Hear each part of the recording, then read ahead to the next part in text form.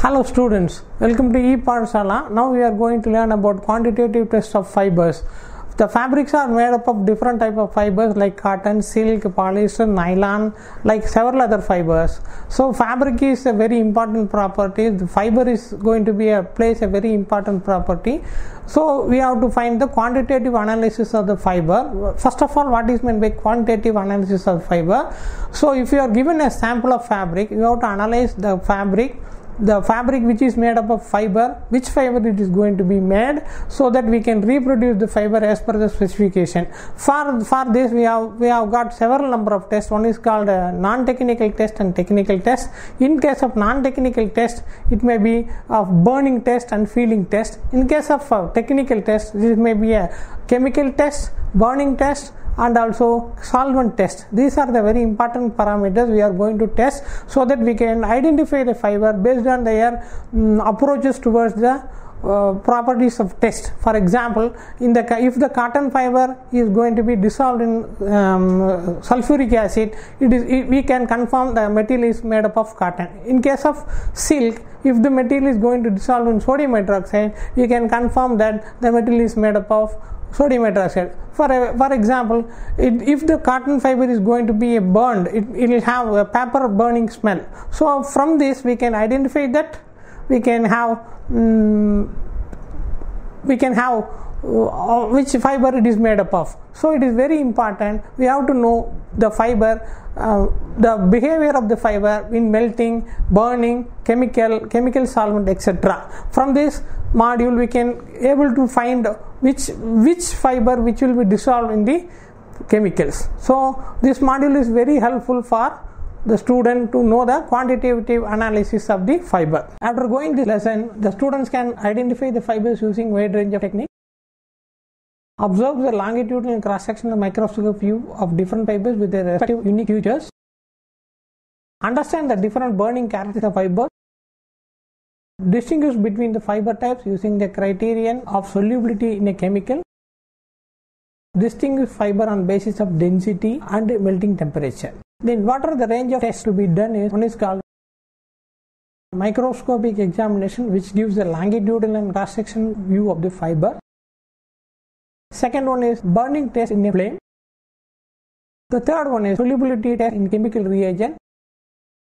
And fourth one is element identification. So one is density measurement and determination of melting point and peeling test. What are the type of uh, textile fiber test will be? There are we can classify into two categories. One is called non-technical test, another one is called technical test. So non-technical test will comprise of peeling test and burning test. In case of technical test, microscopic test and chemical test. So test for the identification will be made up of handle or field test and also visual examination. Another one is burning test, twist on drying, flotation test, microscopic analysis and chemical analysis. Now we can go for what are the requirement for test. So for the requirement of test, how to test will be done will be you have to prepare the test specimen. And we require upper called microscopic if you are going for microscopic examination. And we need some chemicals or reagents for the chemical test if you are going for solubility test. And in case of non-technical test like feeling test the feeling test requires perception if it is to be of any value. So it requires skilled operator and also experienced operator. Skilled perception is acquired only after handling many different fa- fabrics over a period of time. So limitation of this test become apparent when examining and comparing fabric of different fiber content. And the whole feeling test does not give any quite confident test result so that it is not a confident test. So, so next step we are going for burning test. To recognize the composition of fabric by burning test, the sample of fiber or yarn of fabric should be moved slowly towards the small flame. The reaction of heat carefully observed. One end of the sample should be put directly into the flame to determine its burning rate and characteristics. The burning order should be noted and the characteristics of ash such as amount of ash, form of ash, hardness of the ash and color of the ash should be examined in the case of burning test. In the case of technical test, there are certain technical tests performed for identifying various fibers. These tests require high technology laboratory equipment and are much more reliable than the non-technical. The technical tests require a high skilled personnel and technical know-how of handling chemicals and their accurate analysis. These tests are very valuable for those fabrics that are blend of different yarns and also have certain special properties including flame retardancy, water absorbency, etc. So types of technical tests will be microscopic test and chemical test. There are two types of tests which can be microscope under microscope and we use chemical for identification of the fiber. So under microscopic test Microscopic test is a technical test that involves identifying the fabric with help of microscope with the magnification of minimum 100 power. The test can easily distinguish between fibers. The test identifies the natural fibers more easily as compared to man-made fiber. Synthetic fibers are very similar in appearance and the increase in the number of varieties makes it little bit tough to distinguish fiber even under microscope. For in case of technical test, if it is going to be for natural fiber, we can identify the fiber by the longitudinal cross-sectional view. We can find the fiber easily because in case of cotton, the cross-section will be of kidney shape so that we can identify easily. But in the case of um, synthetic fiber, microscopic test doesn't reveal much result because all synthetic fiber have similar cross section so we, we are not able to identify the fiber easily. So so we are going for chemical test. Chemical tests are another technical means of identifying fibers but chemical tests are not intended for, for the general consumers. Different types of chemical tests are undertaken to establish the identity of the fibers used. These tests give accurate and precise analysis the tests are conducted in the research laboratory only. Fiber identification by solvent test. This is another method. For example, if the blend is composed of polyester and cotton, the one component is going to dissolve in one chemical and the other one is identified by remaining residue. For example, solubility of fiber in a particular chemical reagent is a means of identification in case of solvent test. The fiber can be placed in a chemical at a particular temperature and the solubility will confirm the type of fiber. For example, in a cotton is going to be soluble 75% sulfuric acid. In the case of woolen silk, 5% sodium hydrochloride or 5% sodium hydroxide at boil will make them dissolve. So we can identify the fiber. If it is going to dissolve in 5% sodium hydrochloride, the material will be wool. If it is going to be dissolved in 5% sodium hydroxide at boil, the material will be silk. We can identify this as a silk material. In case of viscose, it can be dissolved in 60% sulfuric acid. So another in case of acetate, if the fiber is acetate, it can be dissolved in glacial acetic acid. In case of triacetate material, it can be dissolved in acetone. In case of nylon fabric, nylon material, it can be dissolved in hydrochloric acid or in formic acid. In case of polyester, it can be dissolved in metacresol or chlorophenol. Acrylic material can be dissolved in dimethyl formaldehyde. So from this, we can identify that the material, if it is a cotton or nylon or polyester by using different type of soluble solvent. So methods available for characterization fiber, structural and physical chemical properties are one we can use optical electron microscopy and elemental end group analysis or infrared spectrography or ultraviolet visible spectrography. Both are um, different methods to identify the material. For example, in case of optical electron microscopy, it gives the fiber longitudinal and as a cross-sectional view. In case of elemental end group analysis, it gives the fiber end group which, which component will have. For example, COOH or OH group. Infrared microscopy will give valuable to the determination of functional group within a fiber which are which are the functional group present in the fiber ultraviolet visible spectrography will give an idea of electronic transition occurring during the heating. This will give the unsaturated groups which will be in the excited module. There are some other methods available nuclear magnetic resonance spectrography, which will have NMR. It will give the high intensity magnetic field so that the orientation of the molecule inside the fiber can be determined. And another technique is called X-ray diffraction. It will give, give the crystalline amorphous region in the fiber. Thermal analysis is also done for physical chemical changes in the fiber during the fiber analysis test. Then also molecular weight determination will give the size and weight of the fiber molecules. Then specific gravity test is also measured to density of the fiber which can be give the density of the fiber. Then microscopic test reveals the microscopic features of the fiber when observed along the length and surface feature can be revealed. Cotton fiber, the longitudinal cross section will be flat, irregular, convoluted ribbons under microscope. In the case of cross section of the cotton fiber, it is a peanut or bean shaped with lumen running along through the length. In case of wool, if, if it is observed in the microscope, it have rough surface with scales protruding out. In the case of cross section of wool under microscope, it is nearly round, medulla present in the coarse fiber is concentric and irregular in size.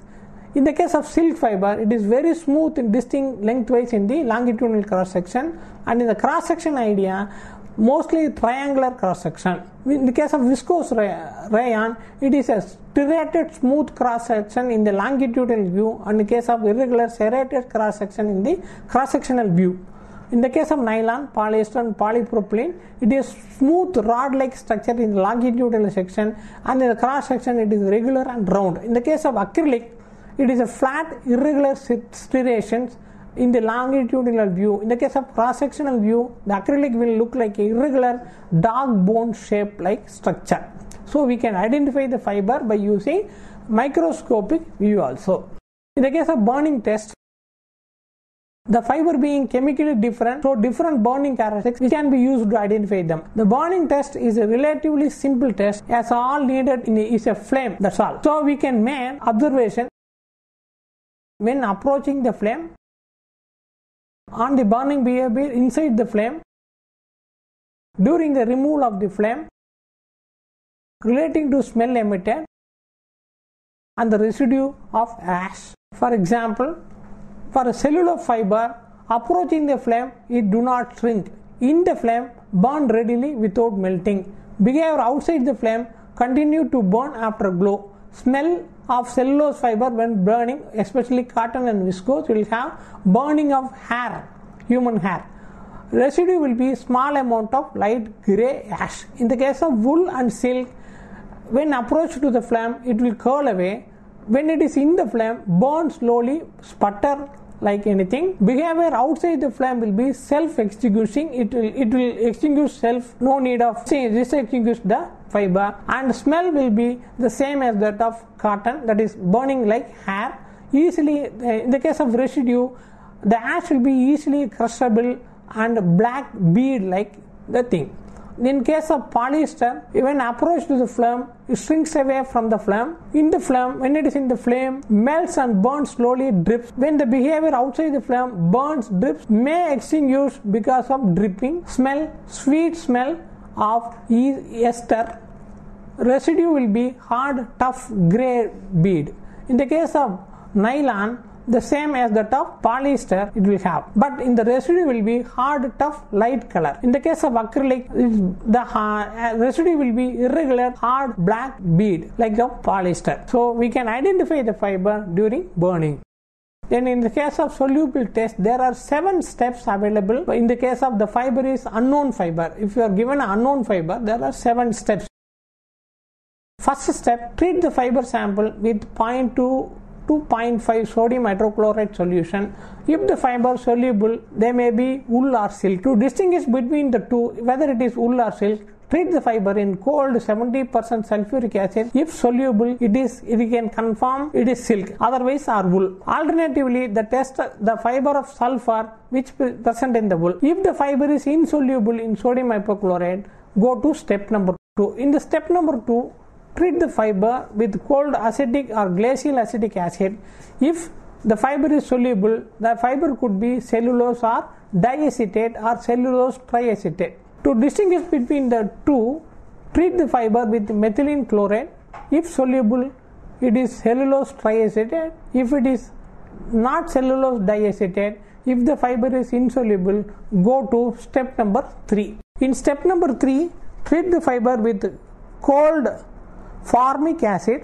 If soluble, the fiber is nylon 6 or nylon 6. To distinguish between the nylon 66 and nylon 66, treat the fiber with boiling dimethyl formaldehyde, usually denoted as DMF. If the fiber is soluble, it is nylon 66, otherwise it is nylon 66. So in case of if the fiber is soluble in dimethyl formamide, the fiber is nylon 6. Alternately, determine the melting points. If you have a doubt, go for melting point Nylon 6 melts at 218 degrees centigrade. Nylon 66 melts at 265 degrees centigrade. If the fiber is insoluble in DMF, go to step number 4.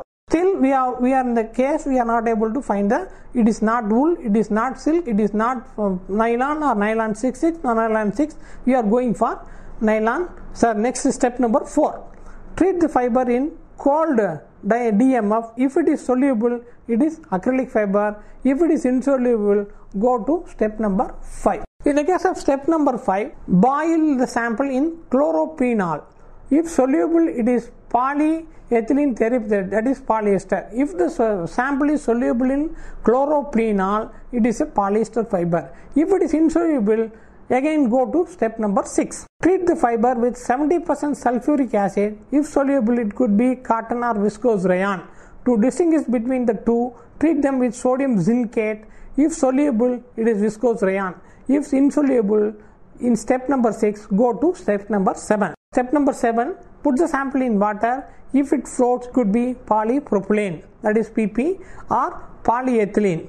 Pp is soluble in boiling carbon tetrachloride PP is soluble in uh, boiling xylol. So in the seven tests, we are going to identify whether the fiber is going to be a silk or wool. Go for second test. Going to be for solubility test. For additional test, we can go for.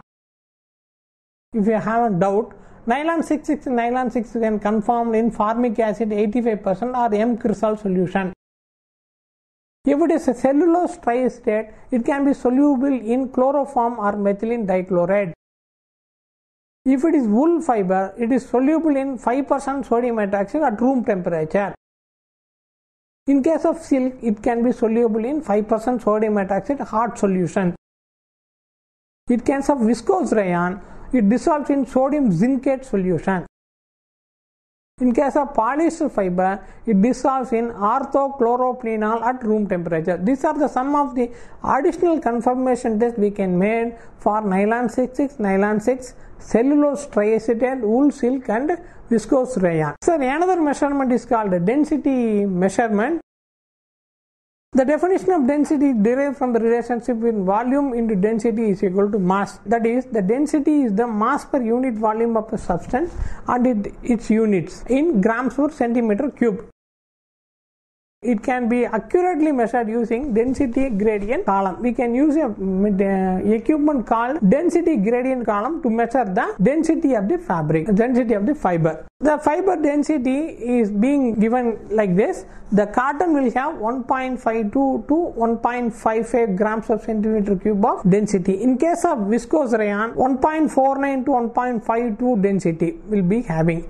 If the material has got 1.53 to 1.55 density, the material will be linen. In the case of jute, it will have a density of 1.49 to 1.5 grams per centimeter cube. In the case of silk, it, density will vary from 1.25 to 1.34 grams per centimeter cube.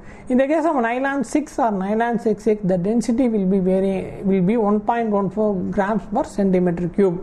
In the case of polyethylene, it will be 0.92 to 0.94. In the case of glass fiber, it will be 2.54 to 2.54 grams per centimeter cube. In the case of polyester, it will be 1.38 to 1.4 grams per centimeter cube. By using density gradient column, we can measure the density of the fiber and by referring this table, we can roughly came into the idea whether the fiber is cotton or viscose rayon or polyester or silk or wool. Then the another test will be the melting point, determination of the melting point of the fiber. The melting temperature of the fiber can be accurately determined with the help of differential calorimeter. Cotton will be decomposed around 250 degrees centigrade before softening or melting.